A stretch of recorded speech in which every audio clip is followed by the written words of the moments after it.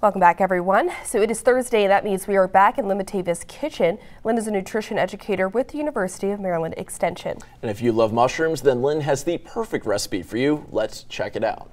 Mushrooms are a really interesting food.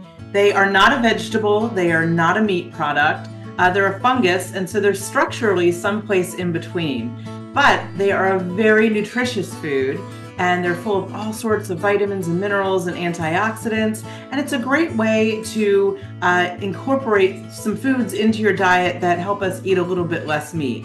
Uh, so today I've got some cremini mushrooms here.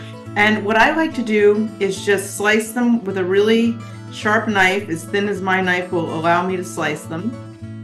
And once I get all of these sliced up, I would put them in a pan with a little bit of uh, whatever oil I'm using. I used a little bit of olive oil and then uh, just a sprinkle of salt, a little dash of pepper. And I chose to use a little bit of fresh sage because it's the time of the year where this just really allows for uh, those nice warm fall flavors that just makes me feel so warm and cozy. I've got some that have already been cooked and they're ready on the stove.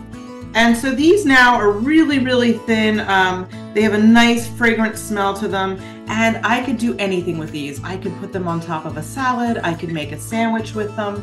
I could uh, put them on top of pizza, stir them into soups. Uh, really just eat them on a plate. There's so many different things we could do with these, but what I'm actually going to do today is make a sandwich. And so I've just got a piece of sourdough bread. You could use whatever kind you want.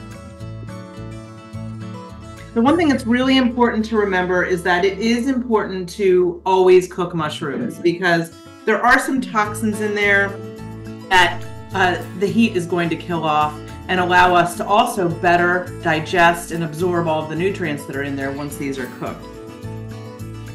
So you could use any kind of cheese you wanted or none at all. I've got some fresh Parmesan. What I really like about Parmesan this is a very flavorful cheese. It's very uh, hard and, and aged, so a little bit goes a long way. You do not need a ton of cheese to add a lot of flavor to this.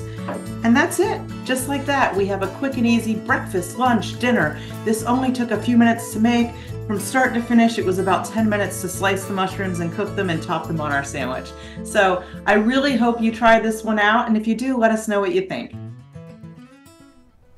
Now, as a reminder, we do have all of nutrition educator Lynn Matava's tips and tricks on our website. Just head on over to WMDT.com and click on the Good Morning Delmarva page. And share your version using this recipe, and you can use the hashtag UMDYum.